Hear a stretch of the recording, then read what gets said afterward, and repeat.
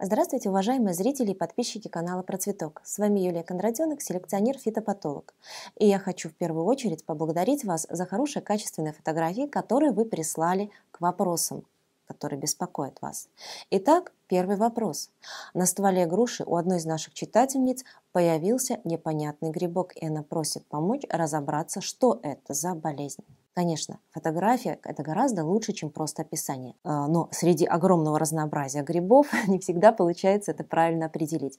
Одним словом, я могу сказать, что это не лишайник, это не бактерия, это однозначно один из древоразрушающих грибков, который поселился на коре груши. Вполне возможно, что дерево пострадало зимой, немножко подмерзла кора, и грибок активизировался.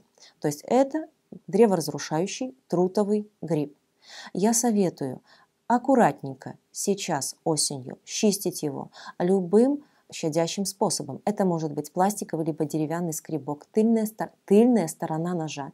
Счистить на расстеленную под деревом пленку и тщательно обработать те места, где гриб поселился. Чем можно обработать? Это может быть крепкий раствор бордоской жидкости, медного купороса, абигопик, любого препарата меди. Если же этого нет, можно воспользоваться любым дезинфицирующим средством для протравки древесины для защиты древесины от грибка. Но применяем его только локально. После того, как вы обработали кору этим препаратом, немножко подождите, буквально через неделю-другую можете повторить для большей надежности. Ну и, конечно, не забудьте про осеннюю покраску деревьев. Это надежно защитит от солнечных ожогов, от морозобоин и предотвратит заселение коры деревьев вот этими грибками и не только. Следующий вопрос. У одной из наших читательниц стала чахнуть яблонька. Кора снимается пластами. Ствол под корой бежевого цвета и уже голый. Трещины пошли вверх на развилку ветвей, но черноты, как пишут о раке, нету. Как вылечить? А, судя по присланным вами фотографиям, могу сказать, что прогноз, к сожалению, неблагоприятный. Во-первых, то, что отслаивается кора, говорит о том, что, э, скорее всего, она подопрела. Не обязательно это может быть черный рак, когда чернеет древесина. Есть огромное количество и других менее распространенных, менее известных заболеваний. В любом случае, поражение вашей яблони очень-очень серьезное. Тот факт, что затронута развилка и отмирание коры продолжается все выше и выше и дальше, и пошли трещины, к сожалению, только усугубляет состояние. На вашем месте я бы эту яблоню не э, лечила потому что вылечить ее, скорее всего, практически невозможно. Ее следует все-таки удалить, выкорчевать и древесные остатки, вот именно пораженные болезнью, уничтожить. К сожалению, из-за погодных условий, из-за перепадов температуры бывает такое, что яблоня э, теряет кору из-за подопревания. Э, слишком мягкая зима, после которой вдруг наступает э, очень э, сильный мороз – приводит к тому, что кора даже отслаивается сама собой. И по этой коре легко поселяются и другие грибки. Либо она уже не может выполнять свою функцию из-за того, что сильно, очень сильно отделилась от древесины. Поэтому деревца мы удаляем. На будущее, чтобы такого не повторилось, конечно, это побелка, это покраска, это выбор правильного места. Сильнее всего кора подопревает у растений, которые посажены в низинах, котловинах, в тех местах, где застаивается холодный воздух, где нет его движения. Следующий вопрос. Наш читатель спрашивает, что случилось с его яблонями и присылает нам две фотографии. Фотографии очень типичны, и вот на них как раз классический случай поражения раком. Э, Причем, судя по тому, как активно развивается заболевание, насколько темная окраска – это классический, скорее всего, черный рак.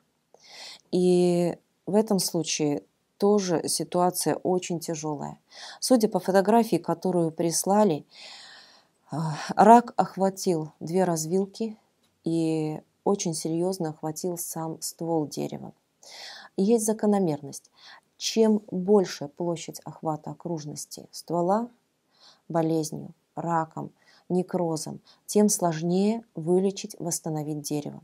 Если некроз, в данном случае черный рак, охватил более половины диаметра ствола, такое дерево вылечить практически невозможно. А учитывая, что, как и вот в предыдущем случае, задеты развилки, к сожалению, прогноз, опять же, неблагоприятный. Я советую это дерево немедленно удалить и немедленно сжечь. Его древесина не должна задерживаться у вас в саду ни на один день потому что споры, которые находятся вот на этой почерневшей коре, они будут разлетаться, и сейчас осенью они очень активно заражают свежие листовые следы, ранки, которые остались после уборки яблок, трещинки и так далее. Поэтому дерево убираем. Что сделать для того, чтобы черный рак не поселялся у вас в саду? Во-первых, я обращаю внимание на зимостойкость сорта. Раковые болезни а, имеют ту особенность, что они поражают деревья, у которых есть какая-либо слабинка. Повреждение коры, трещины, либо низкая зимостойкость. И чаще всего раковыми болезнями поражаются южные сорта, теплолюбивые, у которых кора слабенькая, легко повреждается даже небольшими морозами. Второй нюанс – это обязательно соблюдение чистоты у себя на участке. К сожалению, э, на своем участке мы это можем соблюдать, но бывает так, что, к сожалению, на соседнем участке старые деревья, которые поражены раком обыкновенным, черным, другими болезнями, они просто подсевают регулярно эти споры, заражая наш молодняк, наши молодые саженцы. Чтобы этого не было, сейчас осенью у себя в саду, обязательно проведите искореняющую обработку по листу мочевиной.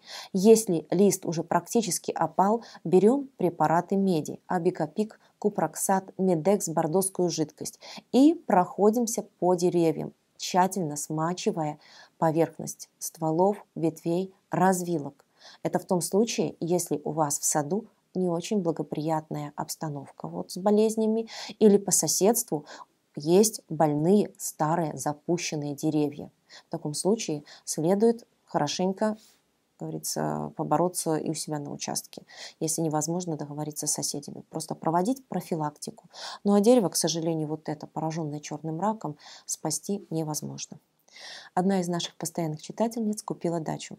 Но вся проблема в том, что 15 лет за деревьями на этом участке никто не ухаживал. И она беспокоится, стоит ли их лечить, есть ли шансы или же проще вырубить. Могу сказать, что стоит побороться за здоровье ваших деревьев. А, тот факт, что они запущены и заросли мхами или шайниками, это все исправимо.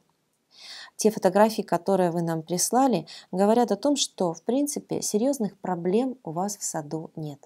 Мхи или шайники, кстати, а, с одной стороны, это хорошо – они говорят о том, что экологическая обстановка на вашем участке благополучная. Но с другой стороны, они же свидетельствуют и о том, что деревья очень сильно ослаблены. На вашем месте я бы сейчас, по окончанию листопада, обязательно провела бы во-первых, очистку коры от мхов и лишайников путем обработки обычным зольным щелоком либо крепким раствором железного купороса. Чтобы приготовить э, зольный щелок, вам понадобится приблизительно 3 кг свежей древесной печной золы и 10 литров горячей воды. Отстоявшаяся верхняя часть раствора, вы заливаете этой водой золу, и есть тот самый зольный щелок. Обрабатывать им нужно именно стволы и ветви, заселенные лишайниками и мхами. Они быстренько отмирают, и через две недели вы можете аккуратно скребочком пластиковым, либо жестким веником, пластиковой щеткой, ни в коем случае не металлическими острыми предметами, счистить подсохшие мхи и лишайники на расстеленную под деревом ткань, пленку, ну, что угодно, бумагу плотную, и уничтожить. Лучше всего, конечно, сжечь, либо на два года в компост. Там они абсолютно безвредны и безопасны. Что же касается листьев, продырявленных кластероспориозом, плодовой гнилей на сливах, с этим можно справиться в течение вегетационного сезона. А сейчас, чтобы уменьшить инфекционный запас, который накопился за 15 лет в саду, обязательно обработайте свои деревья по листве, если она еще сохранилась, крепким раствором мочевины 7-8%, либо, если листопад уже в разгаре, мы берем хороший раствор бордоской жидкости, купроксата, медекса. Не забываем про санитарную обрезку в своем саду.